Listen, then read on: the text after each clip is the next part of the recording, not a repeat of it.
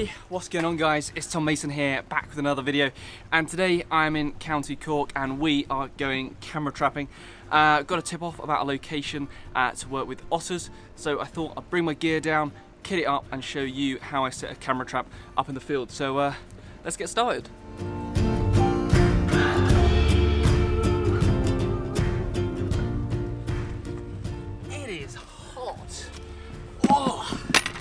Is warm. So for anyone who says that it rains too much in Ireland, they, they don't know what they're talking about.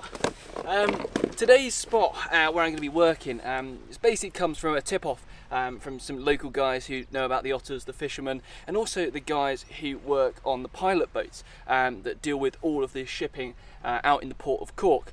And luckily enough, I contacted the port and they said it's okay for me to have access, you know, got security clearance, things like that. Um, and these are sort of the processes I like to go through to get to some kind of exclusive locations. Um, and so today, hopefully, when we set the camera trap up, we'll get some really neat shots. But you know, with all the fishing crates around and the fishing um, that comes into this kind of little harbour here, it gives a perfect place for the otters to come out. And I know um, that they come out onto the pontoon pretty much every evening to feed on uh, crabs and shellfish and stuff like that, and even conger eels. Uh, so fingers crossed, um, we'll set something up and get some really nice shots. But right, I need to get down on the pontoon and uh, get some gear out.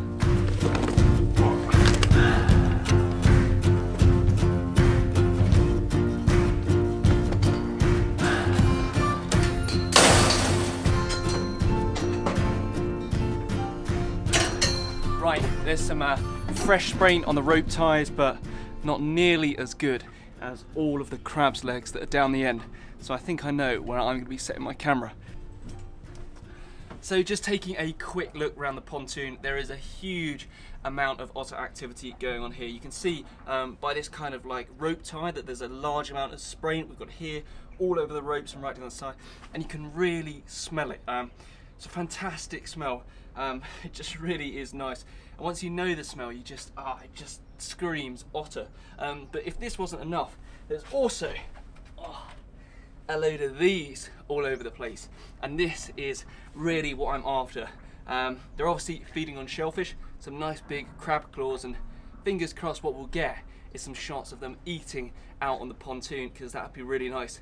Um, there's a few kind of littered around this end of the pontoon, but down there, there is an absolute mass of shellfish that's going to be the perfect place uh, to hopefully set up my camera trap. So right, let's go.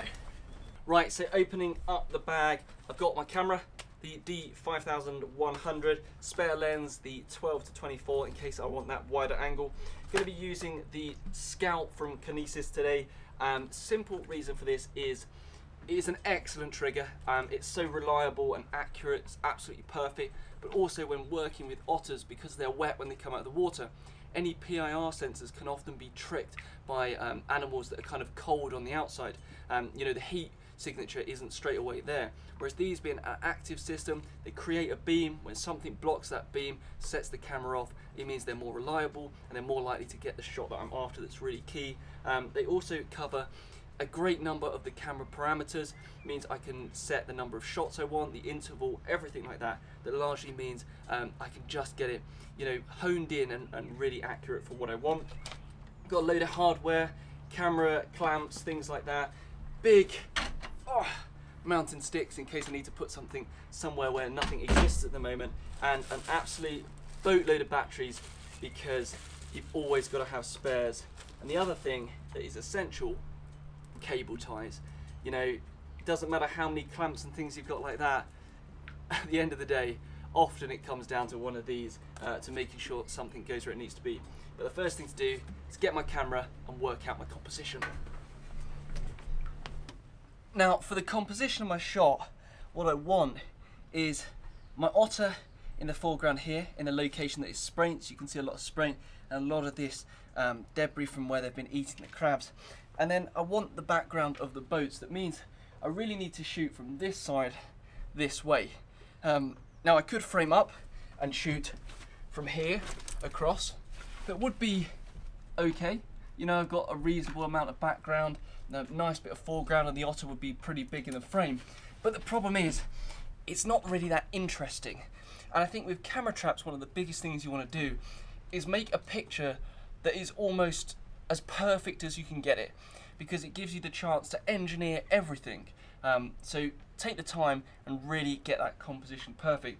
And I think for me, it's going to result hanging over the water to see where it's going to go. Now what I can tell from hanging out with the camera, um, the 18 to 55 for this occasion probably isn't going to be wide enough to get the image I want. If it is, I'd have to have it about probably two foot over the water to get everything in I want. Um, so I think I'm going to switch out to the 12 to 24 um, and see how that looks. But largely what I'm going to aim for is the otter to be somewhere here, um, with this in the foreground, the boat off to the side, um, and then the lights illuminating my otter should be ideal. Um, but I think, you know, if I can mount it, it might be quite a nice picture. So I've got two options to mount my box. I've got my magic arm that's going to give me a bit more extension, or I have the ball head um, with the plate. Reason I've got both is just because I want to see um, what the difference is going to be in terms of the positioning, um, but also in terms of the strength to hold the box. Because, you know, Magic Arm, as much as they're great, it's going to be here for a couple of weeks, and I don't want it to get loose and fall in the sea, because that would be quite annoying. But um, if it's worth it for the shot, we'll risk it. Note about the boxes, uh, this is a Pelican, um, and then I've added on this like extra bit at the front. Now inside it has all the foam, like so, ready for the camera. And I've got my little um, kind of rain hood that goes on the front. Now on the bottom, I have a nice little cheese board that I can mount everything to uh, to keep it nice and secure. And uh, so first I'm to put the camera in um, and get that all neatly settled in um, ahead of getting it out and getting the composition right. The camera is mounted in the box. As you can see, all seated into the foam. The reason the foam and the box are really useful is not only uh, does it kind of waterproof it and protect it, but additionally it actually dulls the noise of the camera when it goes off that's really good makes it like a just little click rather than that big thud um, at the front I've currently got um, 77mm filter on the front um, of the lens, that's fine. I do have an 82mm um, that I might screw into the outside just for that added protection. But this should be alright, especially um, with the hood that I've got there. So I'm going to go ahead, mount up and uh, get it out over the water. But first, um, always attach your mount before you attach the camera because you don't want to be fumbling around with something heavy over the water.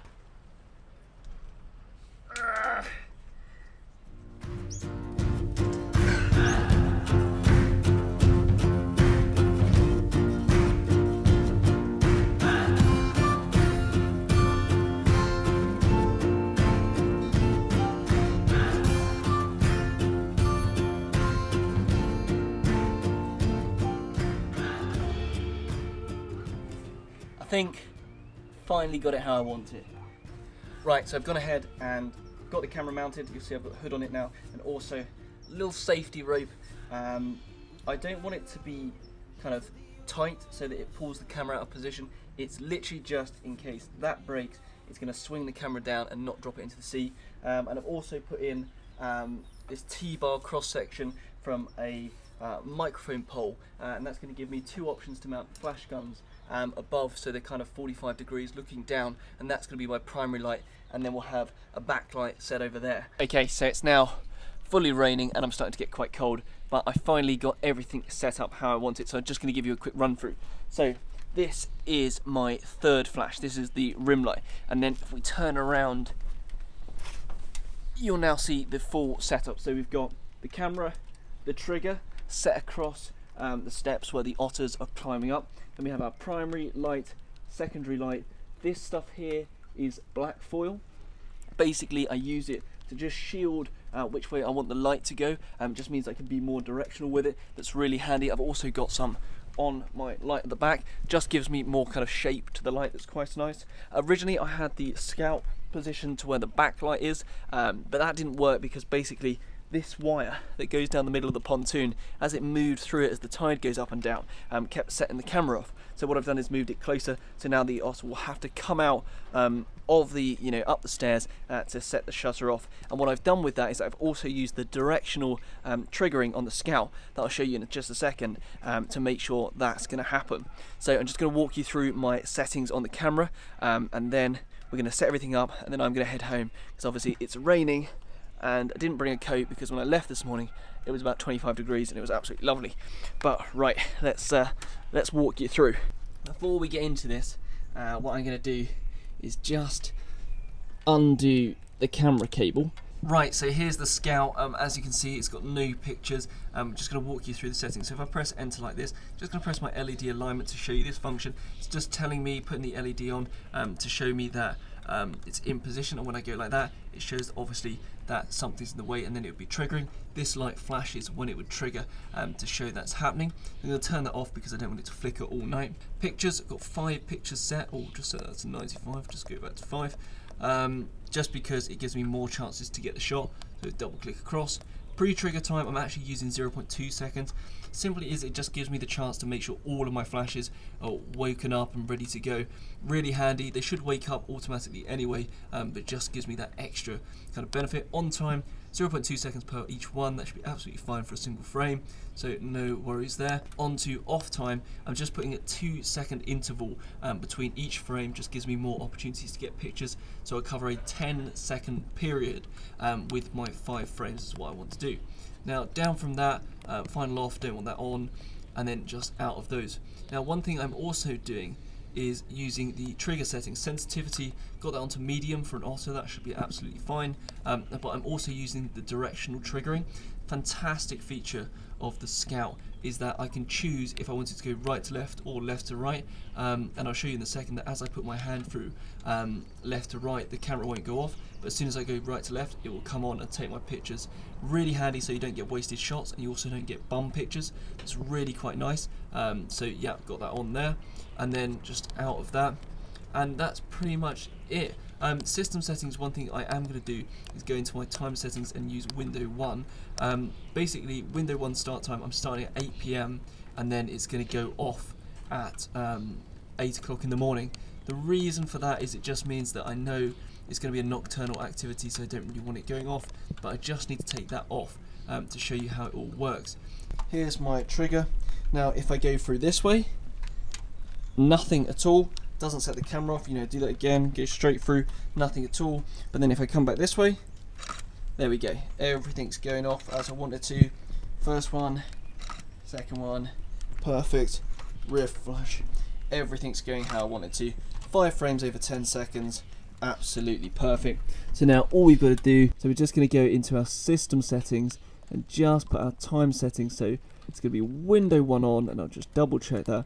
That's 8 p.m. start and then to go off at 8 a.m. That's absolutely perfect. Right, so with everything set up, all I've got to do now is uh, leave it in position, wait and hope that an otter decides that it wants to walk through my camera trap. But you know, with all these crab claws and spraint around, I'm hopeful that we'll get something at this location. But now it's gonna throw it down a minute. I'm going to pack up, get everything sorted and head uh, back to where I'm staying here in Ireland because, um, yeah, I don't want to get soaked. So I'll see you soon when we're when we're trekking this. Right, so I'm back at my camera trap and uh, it's been a good week since I last put it out um, and now it's time to climb out, bring the camera in and see if we've got any images. Now I'm wearing a life jacket because the last time I did this I nearly fell in so I thought that today I would uh, take the health and safety precautions up a bit. Safety first, but right, let's see if we've got anything and uh, see if the otters have decided to uh, come out and, and have their picture taken.